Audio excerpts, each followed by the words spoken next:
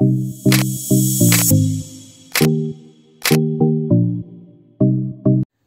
Assalamualaikum warahmatullahi wabarakatuh. Ketemu lagi dengan saya di channel vlog berita. Oke teman-teman hari ini tuh ada kabar berita dengan judul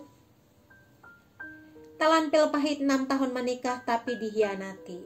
Gading Martin belak-belakan tak pernah dapat hal ini dari Gisel saat masih menjadi istrinya Skandal video 19 detik yang menyeret nama Gisela Anastasia semakin seolah semakin menorehkan luka di hati Gading Martin. Selama ini mati-matian menjaga masalah rumah tangganya, Gading Martin harus menerima kenyataan Gisel ternyata tak setia. Bukan cuma itu, rupanya selama enam tahun pernikahan, Gading Martin mengaku tak pernah dapat satu hal ini dari Gisel.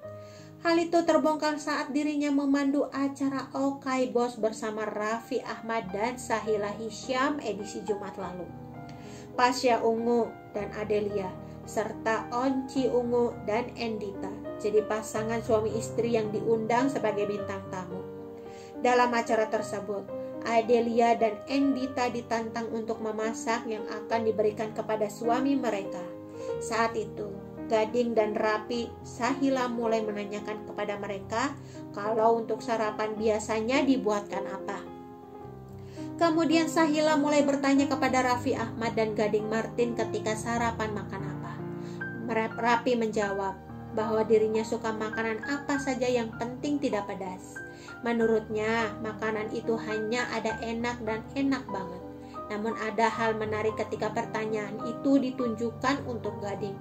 Hingga Raffi langsung meluruskannya. Hal ini sontak membuat semua kaget lantaran Gisel jarang sekali masak untuk Gading saat masih bersama. Oke teman-teman itu sedikit berita dari channel vlog berita. Sampai ketemu lagi di berita-berita selengkapnya. Assalamualaikum warahmatullahi